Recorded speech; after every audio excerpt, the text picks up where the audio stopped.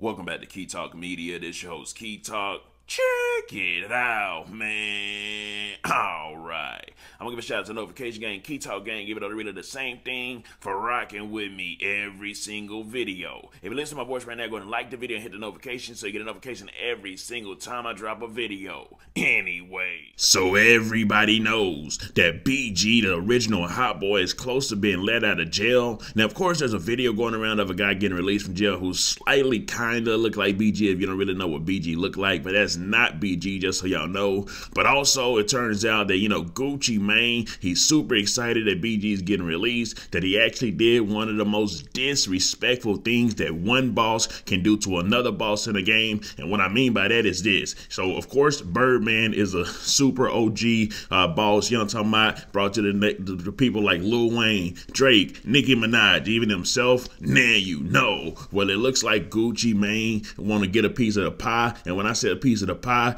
Gucci Mane looks like he wants to sign BG. Now, of course, everybody knows that BG is cash money to the day he died, even though he's been in jail for all these years. When he get out, he's still cash money. Now you know. Gucci Mane has of lately been signing everybody. I'm talking about he been picking so many dudes up off the streets and giving them a million dollars in a chain or giving them 50,000 in a chain or giving them whatever amount of money he gives them in a chain and just signing them to his label trying to get them a hit. Now you know. He actually took to his Instagram and pleaded that BG, I'm talking about, BG who signed the cash money, I'm talking about cash money millionaires to come sign with him for $1 million. He took to Instagram and said, my 1017 family, Help me welcome home the living legend, new BG Hollywood. Of course, that's his Instagram. Glad you home, bruh. Got so much love and respect for you as a man and artist. Get at me. I got a milli for you. Want to sign you to 1017, 1017 Mafia. What in the blue hell is going on? I can imagine Birdman now seeing that post, know, talking about scrolling down his Instagram, seeing that post, and just thinking in his head, Hey, Playboy, you know, I'm from Uptown. We don't play them type of game. You know, BG cash money for life, Playboy.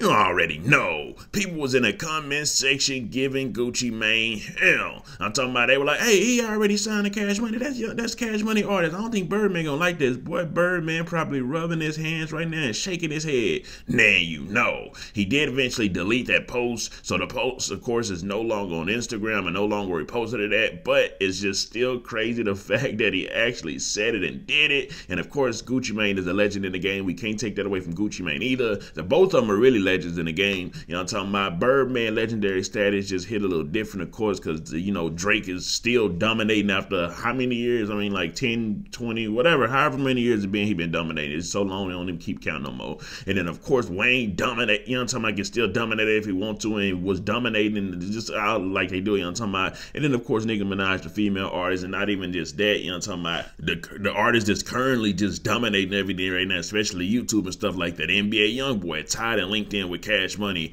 So of course, you know, tr- Cash Money got that that that that track record of just having extreme superstars. You know what I'm talking about? And of course, Gucci Mane do too. Can't take that away from Gucci Mane, buddy, a legend. Actually, a lot of artists this big, he was actually responsible for for even discovering him at first, but he ain't really put him on no paper nothing like that. You know what I'm saying? He ain't put him on no contract nothing like that. So he is a legend in his own right as well. It just turns out that Birdman actually put them on a contract. Anyways, let me know some. Comment down below. Let me know what you think about entire ordeal.